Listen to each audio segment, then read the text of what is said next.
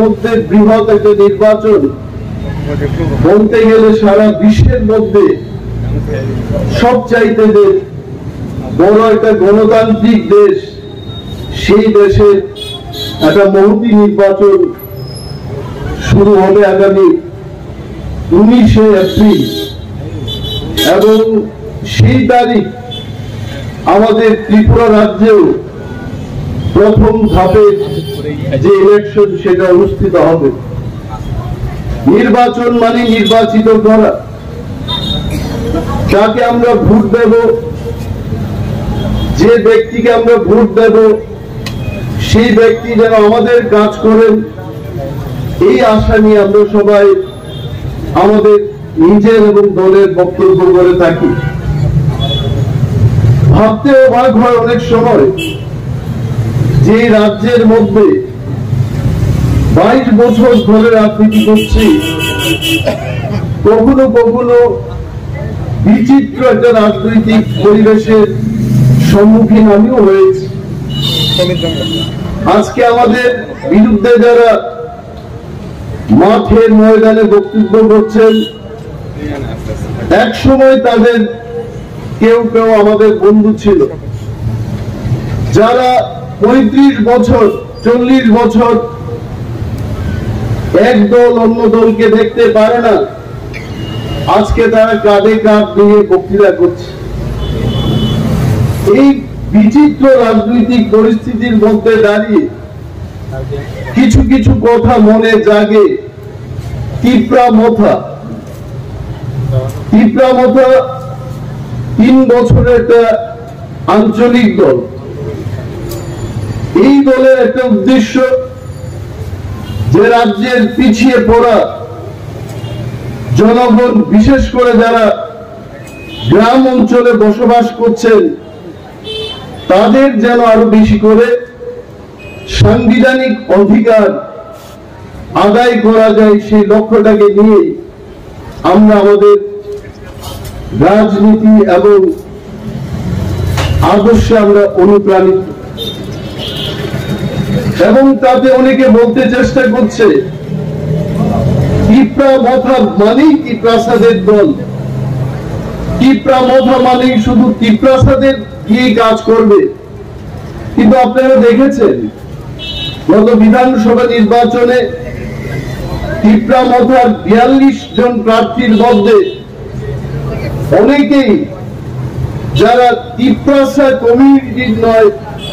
তাদেরকেও আমরা নির্বাচনের ময়দানে এনেছি। ওয়ানসা তিপ্রাসা সমস্ত অংশের মানুষকে নিয়ে ত্রিপুরা রাজ্যের পিছিয়ে পড়া মানুষের জন্য আমরা লড়াইতে শুরু করেছি। আমি যখন শুনি যে ত্রিপুরার পূর্বতন মুখ্যমন্ত্রী মানিক সরকার মহোদয় বক্তব্য করেন, যেই ত্রিপুরা মথার কারণে আমরা গত বিধানসভা নির্বাচনে ক্ষমতায় আসতে পারি। আপনারাই বলুন, যে দলটা পিছিয়ে পড়া মানুষের স্বার্থ রক্ষায় তাদের সাংবিধানিক অধিকার আদায়ের জন্য দলটা গড়েছে। এই দলটা কি সিপিএম পার্টিকে বাঁচানোর জন্য দল গঠন করেছে?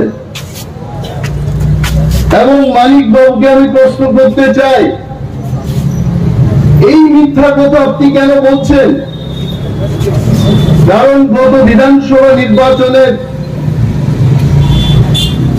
যেদিন নির্বাচনটা হয় সেই দিন মেলার মাঠ পার্টি অফিসে বসে আপনারা সাংবাদিক সম্মেলন করে বলেছিলেন যে সারা রাজ্যের মধ্যে ভোট শান্তিপ্রিয় ভাবে হয়েছে এবং আপনারা আশা রেখেছিলেন যে সিপিএম পার্টি একা ত্রিপুরায় সংখ্যা গরিষ্ঠতা লাভ করে আপনারা মন্ত্রিসভা গঠন করবেন, এটা কি আমার সাজানো পুরো গল্প?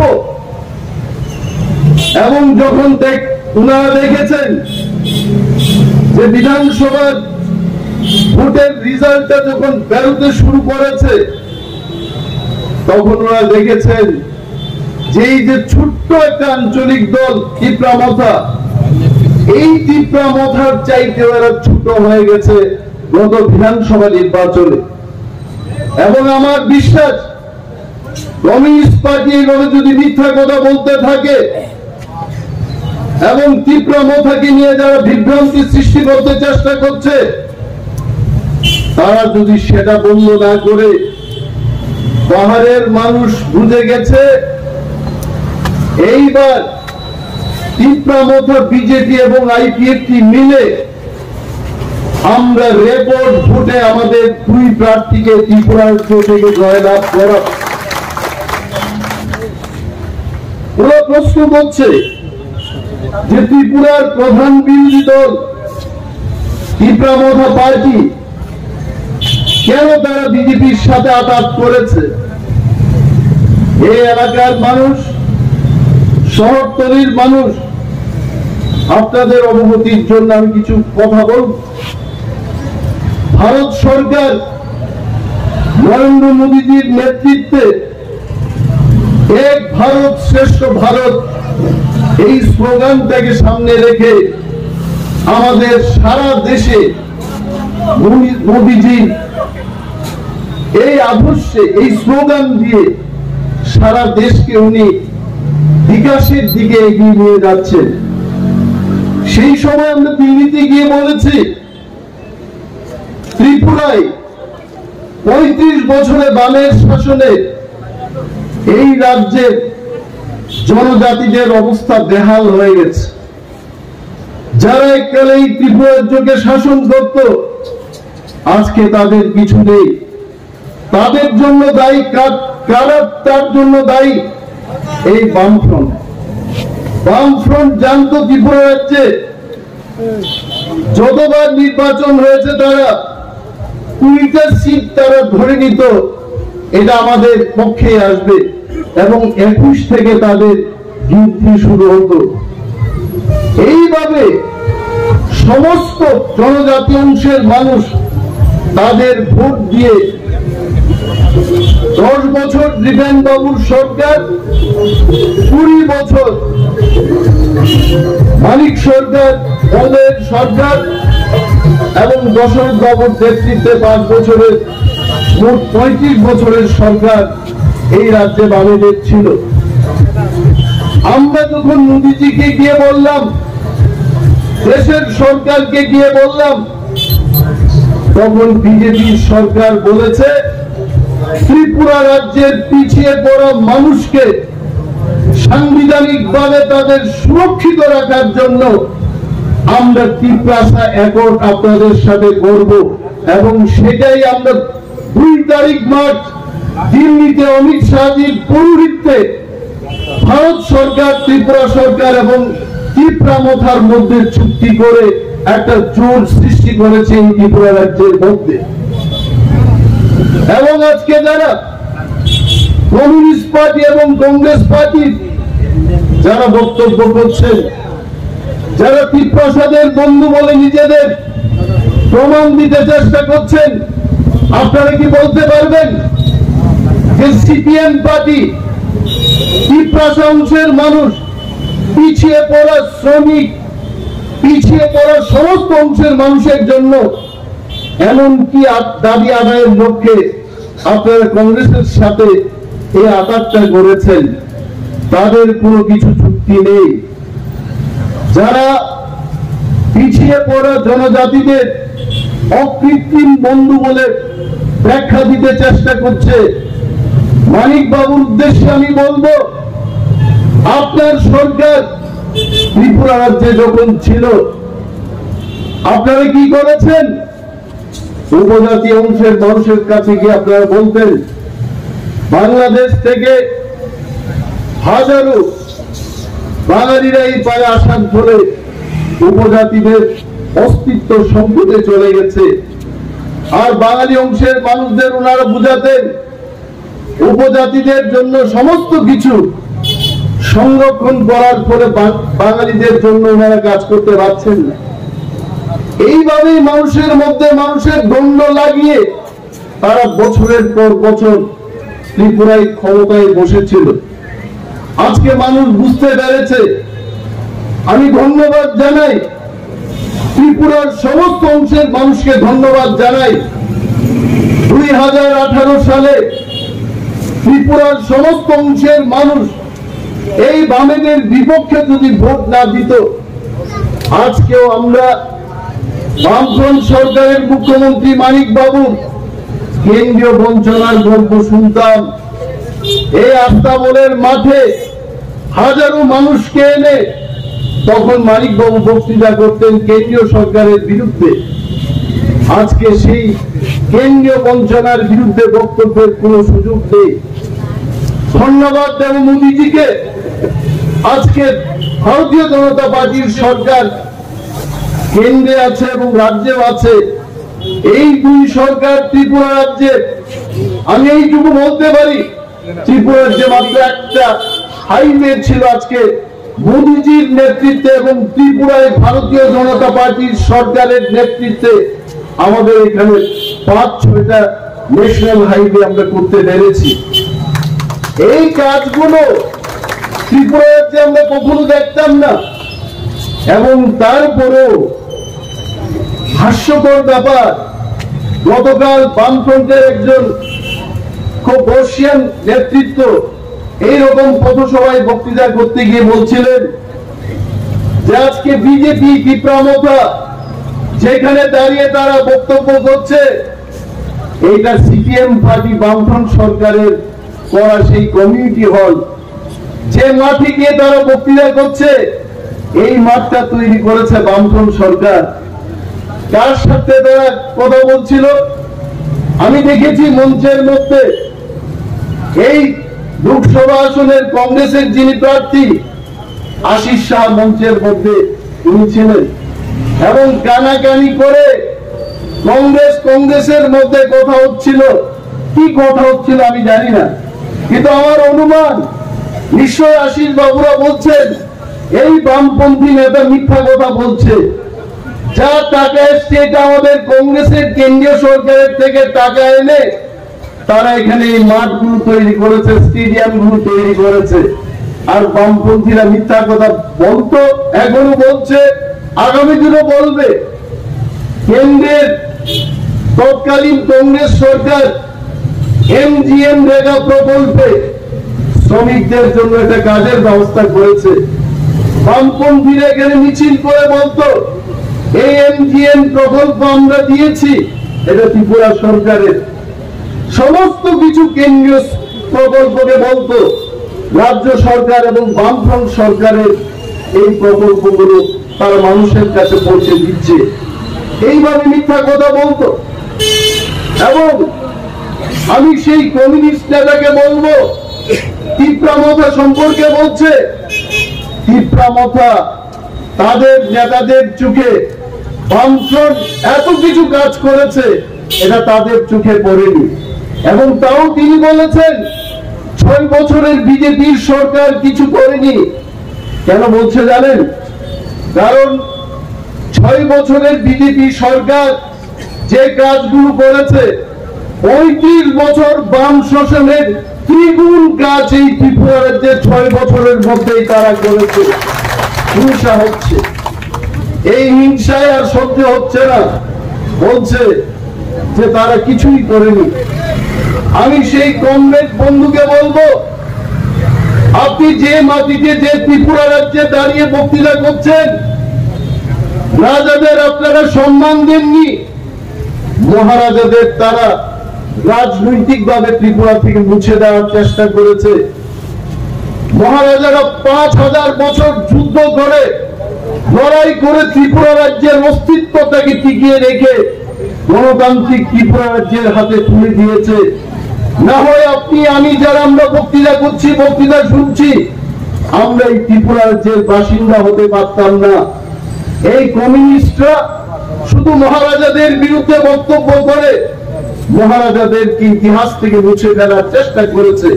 কিন্তু আজকে ভারতীয় জনতা পার্টির সরকার মহারাজদের প্রতি কৃতজ্ঞতা রেখে মহারাজা এবং রাজ পরিবারের প্রতি সম্মান জানানোর জন্য আগরতলা বিমানবন্দরকে মহারাজা বীর বিক্রম বিমানবন্দর করেছে। এটা হচ্ছে প্রকৃত বন্ধুর পরিচয়। আর বিজেপির বিজেপির বন্ধুদের আমি কৃতজ্ঞতা থাকব, কৃতজ্ঞতা জানাব। আপনারা জনজাতিদের সম্মান দিয়ে উপজাতি না বলে আপনারা জনজাতি বলছেন। আর যারা আমাদের অকৃত্রিম বন্ধু বলে, মানিক বাবুর মতো কমরেড, তারা বক্তৃতা করছেন। এরা বলছে, আমরা এই জনজাতিদের অকৃত্রিম বন্ধু। জনজাতিদেরকে একটা জাতি বলেই তারা স্বীকৃতি দেয়নি কখনো। বলছে উপজাতি। আপনারা জানেন যে প্রধান থাকলে পর উপপ্রধান হয়, একটা জাতি থাকলে উপজাতি হয়। আমাদের আসল জাতি কে? বলতে পারবেন মালিক বাবু এবং বড়কে কোক বড়কে তারা উপজাতির অনুবাদটা করেছে সঙ্গু সঙ্গুক হচ্ছে পরজীবী লতা। পরজীবী লতা যাদের কোনো শিকড় নেই, কিছু নেই। এটা করে আমাদের বলছে, তারা আমাদের অকৃত্রিম বন্ধু। আমাদের সম্মান দেওয়ার তো দূরের কথা। আমাদের পরিচয়টাকে মুছে ফেলার চেষ্টা করেছে এই বামেরা। তার জন্য এইবার বামেদের বলছি, অভয়নগর থেকে দাঁড়িয়ে বলছি, এইবার ত্রিপুরা রাজ্যের সমস্ত ত্রিপ্রাসাদ ধ্বংসা হয়ে মোদীজির হাতকে শক্ত করার জন্য ত্রিপুরা থেকে দুটি এমপি আমরা উপহার দিয়ে মোদীজির হাতকে শক্ত করব। ত্রিপুরাই যেন আমরা সব অংশের মানুষ বংশা ত্রিপ্রাসা জনজাতি বাঙালি সমস্ত অংশের মানুষ আমরা যেন এক সত্যে বেঁধে নিজেদের রাখতে পারি, সেই লক্ষ্যে আমরা কাজ করব। যারা আজকে বলতো যে বিজেপি বিজেপি একটা সাম্প্রদায়িক দল, বলছে এরা। একটা ধর্মকে নিয়ে রাজনীতি করছে, বলছে এরা। কিন্তু বাম বন্ধুদের বলছি, ত্রিপুরা রাজ্যে আপনারা যতবার ক্ষমতায় এসেছিলেন, ততবার এই ত্রিপুরায় আপনারা জাতি দাঙ্গার পরিস্থিতি তৈরি করেছে। আশি সালের কথা আমরা ভুলে যাইনি। সাতানব্বই সালের কথা আমরা ভুলবো না। বামেরা বলতে পারবেন, তিরিশ বছরের কংগ্রেস শাসন, পাঁচ বছরের জুটের শাসন এবং ছয় বছরের বিজেপির শাসনে ত্রিপুরা রাজ্যে কোনো দাঙ্গা হয়েছে আপনারা বলতে পারবেন। গর্বের সাথে আমরা বলব। ত্রিপুরা মতা বিজেপি আইপিএফটি যদি আমরা জুটবদ্ধভাবে থাকি, এই ত্রিপুরা রাজ্যে কোনো দাঙ্গা আমরা হতে দেব না। আমরা একসঙ্গে থাকব একসঙ্গে থাকব। করতে পারছেন? তারা বলছে, এই যে চুক্তি হয়েছে, এই চুক্তির ফলে বাঙালিদের ক্ষতি হবে। আর ত্রিপ্রাসাদের গিয়ে বলছে, এটা খালিক ফ্লাই খালিক ফ্লাই কথার অর্থ হচ্ছে এটা কলা পাতা। সম্মানিত ভারতবর্ষের যিনি স্বরাষ্ট্রমন্ত্রী অমিত শাহজি কনফারেন্স হলে যে ঐতিহাসিক ত্রিপ্রাসা একট আমরা সিগনেচার করেছি, চুক্তি স্বাক্ষর করেছি, এই চুক্তিটাকে তার কলা পাতা দিয়ে তুলনা করেছে। আপনারা বলুন, বামেরা কি করেছে? বামেরা এই ত্রিপুরা রাজ্যের সার্বিক উন্নয়নের জন্য তারা কি করেছে? উগ্রপন্থী সমস্যার সমাধানের জন্য কি করেছে? নাথি বেকারদের তারা বলতো, বেকার সমস্যা লক্ষ লক্ষ বেকার তৈরি করে দিয়ে চলে গেছে। দশ হাজার তিনশো জন শিক্ষকদের চাকরি চলে গেছে। নিয়ম মানবে না। দেশের আইন মানবে না, কিছু মানবে না। আজকে সেই দশ হাজার তিনশো জন শিক্ষক তারা আকাশের দিকে চেয়ে বসে আছে, দাবি তুলছে। দেশের আইন, দেশের কোন কোন আইন নামে চাকরি দিয়ে আজকে তাদের চাকরি চলে গেছে। এই বামেরা, বেকারদের বলতো যে কর্মচারীদের বেতন বৃদ্ধি করতে গিয়ে সরকারের কাছে টাকা নেই বেকারদের চাকরি দিতে পারব না, মিথ্যা কথা। শ্রমিকদের বলছে যে কর্মচারীদের আটান্ন বছর থেকে ষাট বছর বয়স বৃদ্ধি করে আর আমরা সমস্ত উন্নয়নের টাকা তাদের সেই বয়স বৃদ্ধির খাতে আমরা খরচ কর- করছি, আপনাদের জন্য আমরা উন্নয়নমূলক কাজ করতে পারছি না। প্রতিটি অংশের মানুষকে এসসি, এসটি দের বলবে, জেনারেল ক্যাটাগরির লোক আপনাদের বঞ্চনা করছে, আর জেনারেল ক্যাটাগরির মানুষকে গিয়ে বলবে সমস্ত চাকরি নিয়ে গেছে। মানুষের মধ্যে বিভেদ সৃষ্টি করে, দ্বন্দ্ব সৃষ্টি করে, তারা ক্ষমতায় বসে থাকতে চায়। কিন্তু আজকে ত্রিপুরার বাঙালি জনজাতি, মণিপুরি, মুসলিম, সমস্ত অংশের মানুষ বুঝে গেছে, বামেদের এই মিথ্যা কথা, এই পুরনো গ্যারেজের মতো, পুরনো লুট, অচল লুটের মতো, এই দলের পেছনে আমরা থাকব না। আমরা এক ভারত, শ্রেষ্ঠ ভারত এবং শ্রেষ্ঠ ত্রিপুরা গর্ব।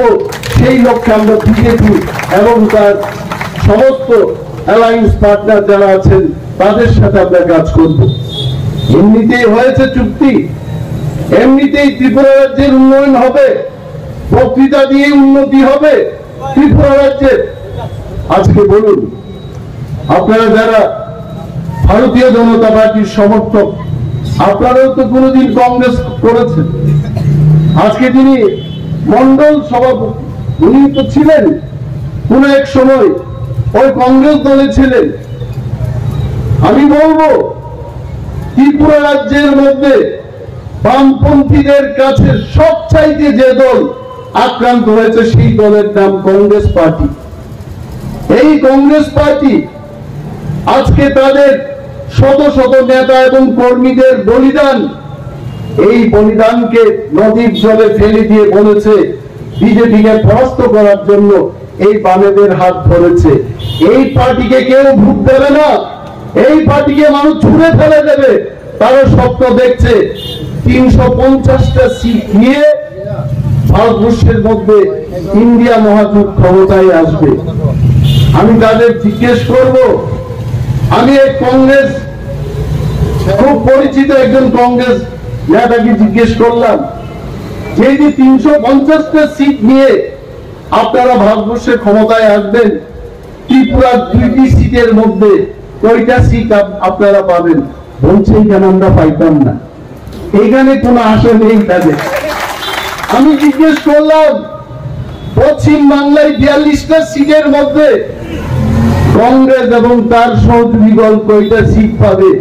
বলছে, এক থেকে দুইটা সিট পাবো। বাকি সিট কারা নেবে? বলছে, এত কথা বলার দাদা সময় নাই, পরে আমরা ফুলে কথা বলব। আর তার ফুলের প্রয়োজন দুধ নাই। আপনারা দেখুন, তামিলনাড়ুতে কয়টা সিট জিতবে কংগ্রেস পার্টি? খুঁজ নিয়ে দেখুন। মধ্যপ্রদেশে কয়টা সিট নিয়ে আসবে কংগ্রেস পার্টি। রাজস্থানে কোথায় কংগ্রেস পার্টি? মহারাষ্ট্রে কয়টা ভারতবর্ষের যে সমস্ত ভারতবর্ষের চেহারা, রাজনৈতিক ভাবে যদি আপনারা খোঁজ নিয়ে দেখুন, কোথাও ইন্ডিয়া মহাজোটের পক্ষে দুইশোটা সিট পার হবে কিনা তা সন্দেহের। তার জন্য হাততালি বাজানোর আগে আপনারা শুনেনি তার জন্য ছাপ্পান্ন ইঞ্চির যে বুক নিয়ে আজকে ভারতবর্ষকে পরিচালনা করছেন, সেই ব্যক্তি দাঁড়িয়ে স্লোগান দিচ্ছেন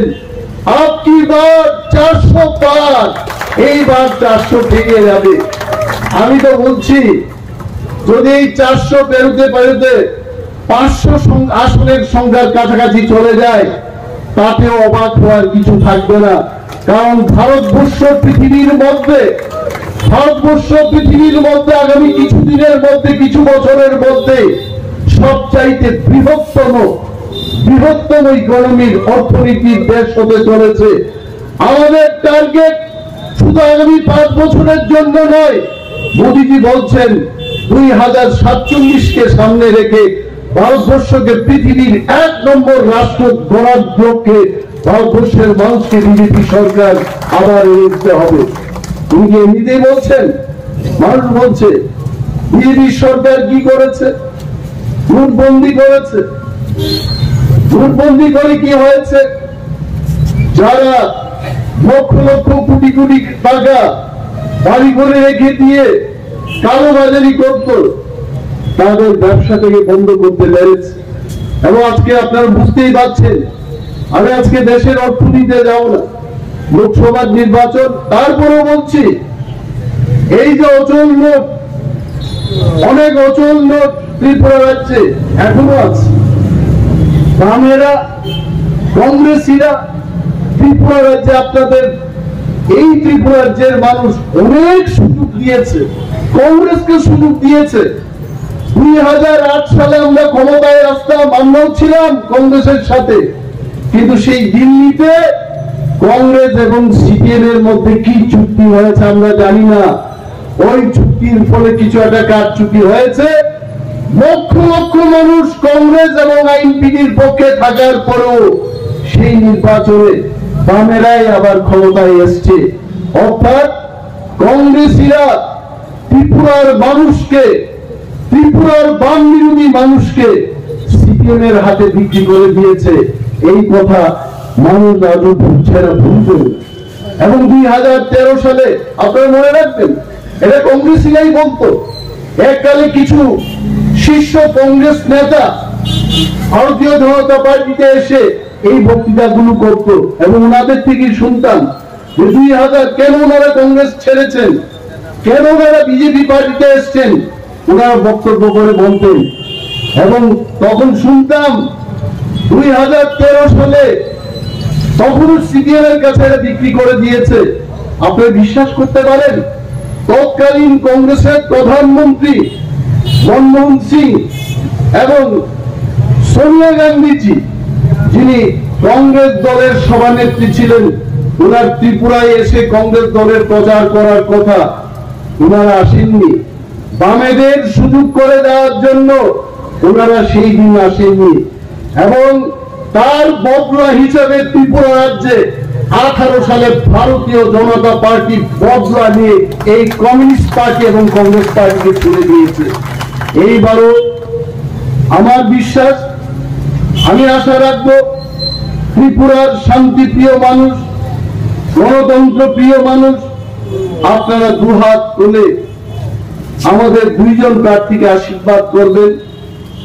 পূর্বতন মুখ্যমন্ত্রী মাননীয় শ্রী বিপ্লব কুমার দেব মহোদয়, বর্তমান রাজ্যসভার সাংসদ, ওনাকে নিশ্চয়ই আপনারা পদ্মফুল চিহ্নে ভোট দেবেন এবং ভোট দিয়ে আপনারা ওনাকে জয়যুক্ত করবেন। এই বিশ্বাস আমার আছে, আমাদের আছে। আর একটা কথা হলো, বিজেপি পার্টি, আমি তীব্রমতা তারপরে বলছি, বিজেপি পার্টি আমি সবচেয়ে যে ভালো জিনিস বিজেপি যা বলে, সেটা করে। মোদীজি যা বলেন, সেটা করে। বামেরা তো সেটা করে না। বামেরা আগে বক্তৃতা করতো, স্বচ্ছতার কথা বলতো। সৎ কথা বলে অসৎ কাজ করত। স্বচ্ছতার কথা তুলে এরা কারচুপি করত, দুর্নীতি করত। বলতো, নির্বাচন সুস্থভাবে হবে, কিন্তু পুলিং বুথে দেখা যাচ্ছে সে রিডিং করছে ত্রিপুরার সাইন্টিফিক রিডিং এর কথা আপনারা ভুলে যাবেন না। কি করে করেছে? ভোটার তালিকায় কারচুপি করেছে সাইন্টিফিক রিডিং ডেলিমিটেশন নাম দিয়ে কি করেছে? রামনগর, কৃষ্ণনগর পর্যন্ত ঢুকিয়ে দিয়েছে তাদের সুবিধা করার জন্য। আর এই কৃষ্ণনগরকে নন্দননগর মানে যা তা যেখান দিয়ে মানে ত্রিপুরা বিধানসভার ক্ষেত্রগুলো অনেকটা আঁকা বাঁকা পথের মতো করে করে নিয়ে নিজেদের সুবিধা করার জন্য তারা এটা করেছে। কিন্তু মোদিজিকে আমি ধন্যবাদ জানাই, সালাম জানাই। এই মোদিজির নেতৃত্বে ত্রিপুরা রাজ্যে যত আঁকা বাঁকাই করুক, বামেরা রক্ষা পায় নাই, আর পাবেও না। বামেরা রক্ষা পায় নাই এবং আর কোনোদিন পাবেও না, তারা ফিরে আর আসবে না। এই সমস্ত অচল লোক নিয়ে যারা ঘুরছে, তাদের পেছনে আমাদের যেতে নেই। আমরা প্রচুর পরিশ্রম করছি। পাহাড়ে আমরা যাচ্ছি।